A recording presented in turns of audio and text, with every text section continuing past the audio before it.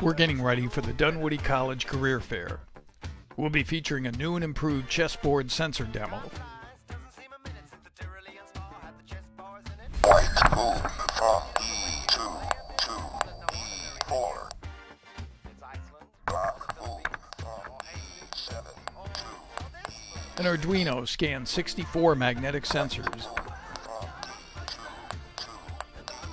displays the moves on an LCD display, and reports the moves with voice synthesis. White move from B1 to C3. Black move from F8 to B4. Our GMR magnetic switch sensors are the heart of the demo. The sensors are mounted on breakout boards and wired to the Arduino. The demo has a combination of elements that Dunwoody students master circuit board layout, Arduino programming, soldering, and wire wrapping. One of our Dunwoody alumni worked on it. The GMR sensors are sensitive enough to detect even basic magnets with a lot of latitude. They accommodate a wide range of magnet strengths. 380 Gauss,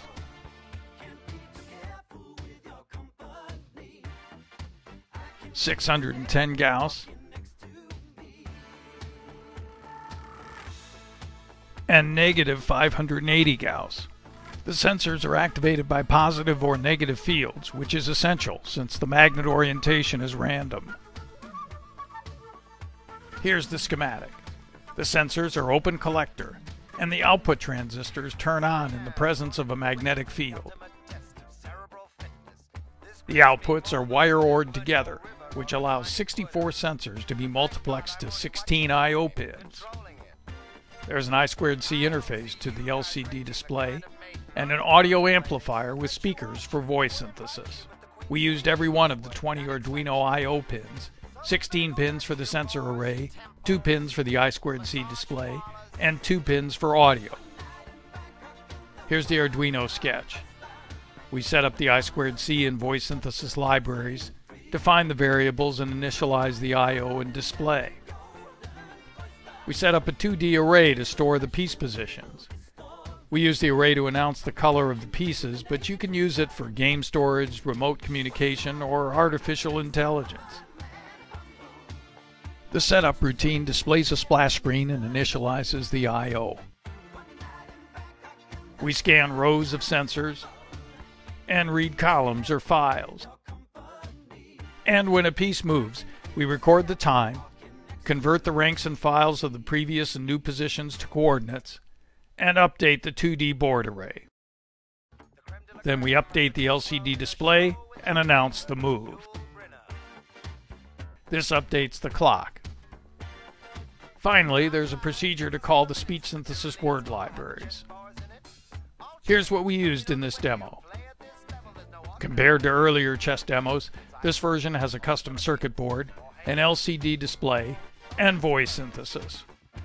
We also added these 3D printed travel pegs to avoid the pieces clumping together if somebody bumps the board. We used AD024 sensors for this demo, but there are two other book move sensors for Arduinos. And we have even smaller and lower power sensors, a total of six sensor families, including the AD series used in this demo. And unlike other sensors that pawn themselves off as stable, these sensors rank best over a wide range of supply voltage and temperature. They're sensitive for wide air gaps and exceptional operating latitude, low power, so you can have large arrays without a large power supply, and ultra miniature for tight spaces. So, when it's your move to specify a proximity sensor, don't sacrifice. There's no defense for cheap, sloppy Hall effect switches.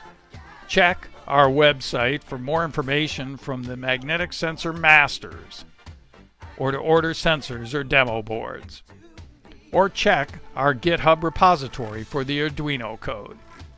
And if you're part of the Dunwoody community, check out our chess demo live at the Career Fair on October 3rd. We're always looking for talented engineers, technicians, and interns. And where else can you work on geeky stuff like this? Please like this video and subscribe to our channel for updates.